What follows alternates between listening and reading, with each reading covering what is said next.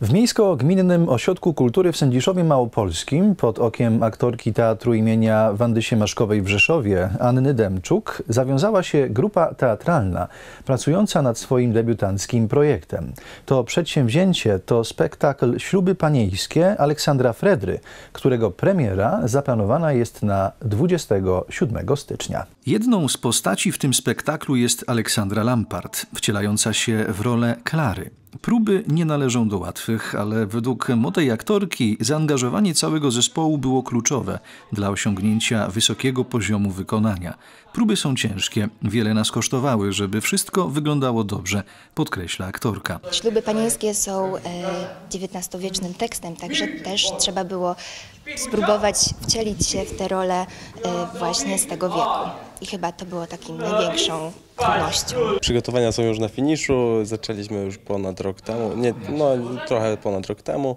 Mm, przygotowywaliśmy się dość systematycznie, spotykając się to co tydzień tutaj właśnie w Domu Kultury w Sędziszowie i powoli przygotowywaliśmy e, swoją, swój warsztat przede wszystkim, który dopiero kształcimy, a jak również swoje role, którą właśnie chcemy przedstawić. W szeregach grupy teatralnej znalazła się również Wiktoria Batuk, wcielająca się w rolę Amelii. Jak mówi, aktorstwo zawsze ją fascynowało, wyrażając swoją pasję do sztuki teatralnej. Aktorstwo jest to e, sztuka, w której znajduje, mm, w której znajduję e, swój wyraz. Mogę wyrazić swoje emocje, swoją e, pasję. To jest to, w czym się najbardziej odnajduję. Ciekawym akcentem w historii grupy teatralnej jest przyłączenie Macieja Walczyka, który dołączył ze swoim bratem.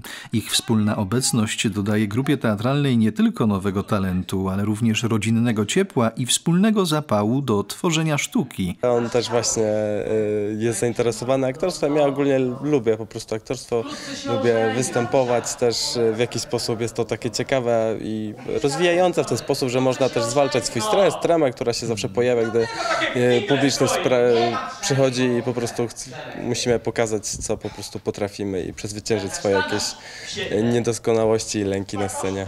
Ambitne podejście, zaangażowanie aktorów oraz profesjonalne kierownictwo aktorki Anny Demczuk sprawiają, że premiera ślubów panieńskich w Sędziszowie Małopolskim już teraz budzi ogromne zainteresowanie wśród lokalnej publiczności.